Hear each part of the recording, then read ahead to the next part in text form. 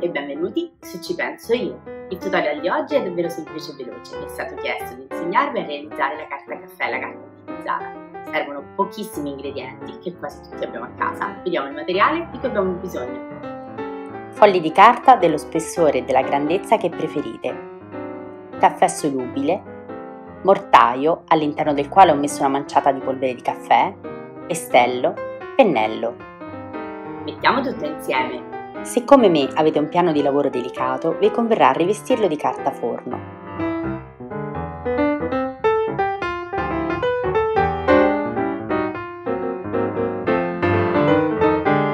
Metto la polvere di caffè all'interno del mio mortaio e con il pestello andrò a renderla ancora più fine.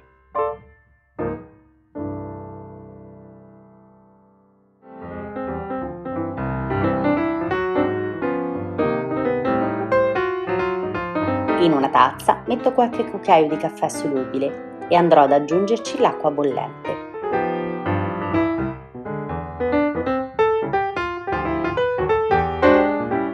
Sono pronta per dipingere. Vado a dipingere un lato del foglio cercando di creare più macchie possibili.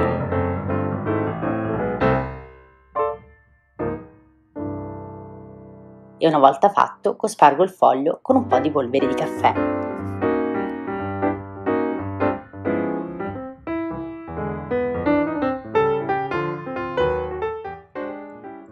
Procedo sugli altri fogli nello stesso modo, prima di girarli e di ripetere lo stesso procedimento sul retro.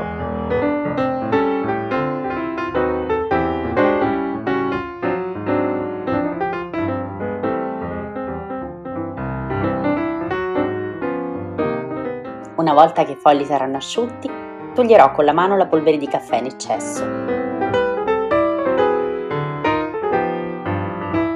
E voilà! I miei fogli antichizzati sono pronti per essere usati. Per utilizzare la cera lacca comincio accendendo una candela sulla quale andrò a porre il fornello per la cera. Il fornello ha un foro al centro per ospitare il cucchiaio per la cera lacca. Devo aspettare che la cera si sciolga completamente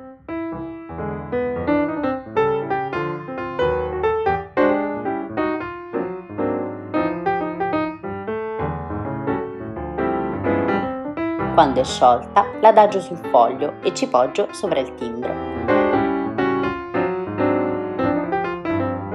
Non è necessario esercitare una grande pressione. Aspetto qualche istante ed ecco fatto, la mia lettera adesso è al sicuro.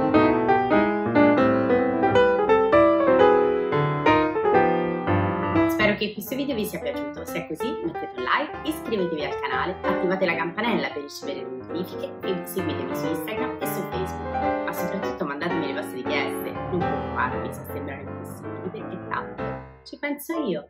Ciao!